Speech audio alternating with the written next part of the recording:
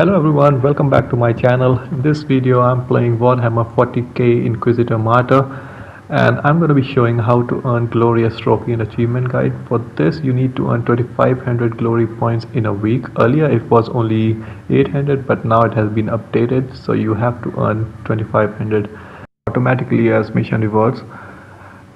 So once you have choose the intel to get a mission and then you have to unlock certain tarot cards so if you have completed the campaign missions you will automatically have uh, the ones you need.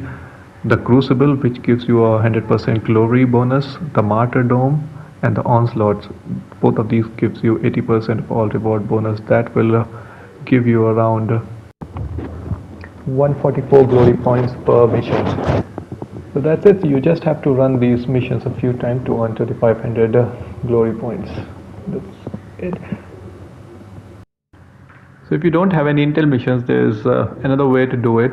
So you just have to pick uh, any random missions but you need to be level 50 plus. The mission need to be level 50 plus. I haven't tested the theory on uh, missions below level 50 but you need to do the same thing. Pick a mission and select the three tarot cards which i just mentioned but it will give you less points than this method. It will give you around 44 45 points but it is better than getting 10 glory points per mission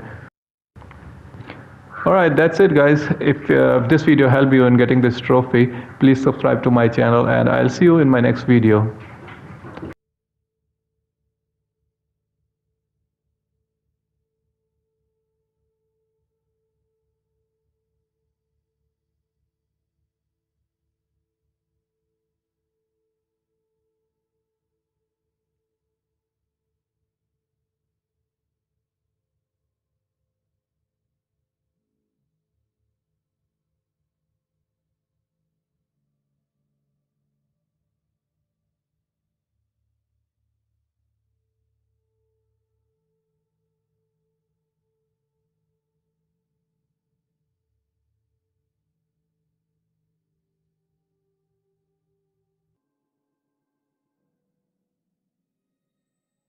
The enemies of the Imperium